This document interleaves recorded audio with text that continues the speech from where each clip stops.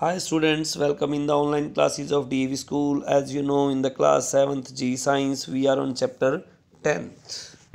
Today we are on keywords of this lesson and our keywords are first one is the clayey soil. Soil having fine smooth particles with very little space between them. वो soil जिसमें कि बड़े ही fine और smooth particles होते हैं उनके बीच में स्पेस भी बहुत ही कम होता है क्लेई सोइल कहलाती हैं।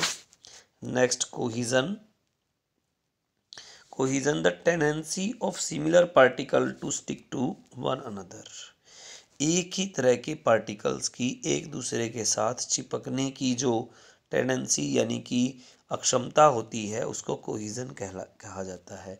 जैसे क्लेई सोयल है, वो, उसको हम किसी कोई भी शेप दे देते हैं, क्योंकि उसका कोहिजन लेवल बहुत अच्छा होता है, उसके पार्टिकल एक दूसरे से आसानी से चिपके, चिपक सकते हैं। Next humus dead and decaying plants animals organic matter dying dead मरे हुए मृत और गले सड़े जो प्लांट या एनिमल्स हैं उन वो जो ऑर्गेनिक मैटर होगा वो हमस कहलाता है।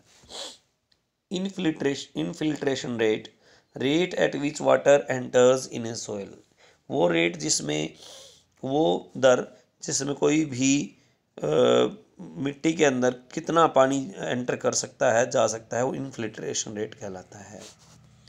Loamy soil soil made up of mixture of sand silt and clay particles वो सोयल जिसके पार्टिकल्स जो हैं, वो मिक्स मिक्सचर होते हैं सैंड सिल्ट और क्ले पार्टिकल्स का लोमी सोयल कहलाते हैं। Percolation rate the rate at which water flows और trickles through the through porous soil, जिसमें परकुलेशन रेट क्या होता है, जिसमें वो रेट जिस पर कोई भी कितनी मात्रा में वाटर फ्लो कर सकता है, किसी भी सोयल के अंदर से परकुलेशन रेट कहलाता है।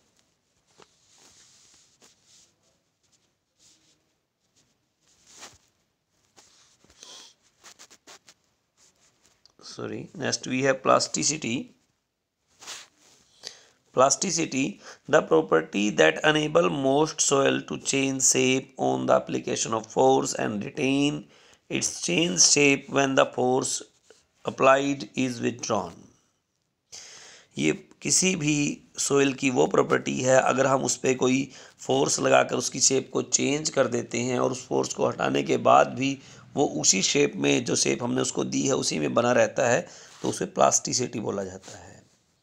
Sandy soil soil with bigger bigger particles having large space filled with air between them वो सेल जिस वो सोयल वो मिट्टी जिसके पार्टिकल्स बहुत बड़े बड़े होते हैं, जिनके अंदर बीच में स्पेस लार्ज होता है, बड़ा होता है, और हवा से फिल्ड होता है, उसे बोलते हैं sandy soil soil erosion removal of top soil by agent such as wind and water उस किसी भी सोयल की ऊपर की जो सतह होती है, उसका एजेंट्स विंड और वाटर के द्वारा रिमूव हो जाना सोयल इरोजन यानी मृदा अपर्दन कहलाता है।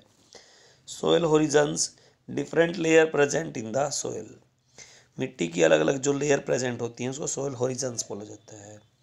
Soil pollution the buildup of toxic compounds and chemicals etcetera in the soil soil के अंदर टॉक्सिक कंपाउंड्स और केमिकल्स का बिल्डअप होना क्या है? सोयल पोल्यूशन कहलाता है।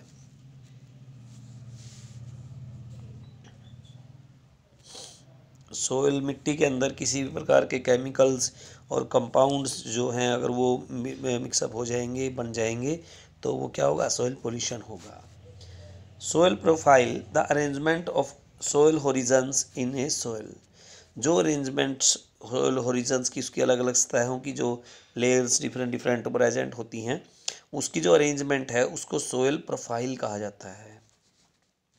Weathering the process of breaking down of rocks by the combined effect of physical chemical and biological process weathering क्या होता है? वो प्रोसेस जिसमें रॉक्स जो हैं, वो ब्रेकिंग डाउन हो जाती हैं, टूट जाती हैं combined by the combined effect उनके combined effect of physical chemical and biological processes जो फ़िज़िकल केमिकल और बायोलॉजिकल प्रोसेस हैं, उनके कंबाइंड इफ़ेक्ट के साथ जो रोक्स हैं, वो टूट जाती हैं और उनसे सोयल बनती है तो वो क्या कहलाता है? वैद, वो इफ़ेक्ट क्या है? वेदरिंग कहलाता है। ओके आज हम यही कीवर्ड्स ही लर्न करेंगे। आप इसको सीरियसली लर्न करें। Okay thank you so much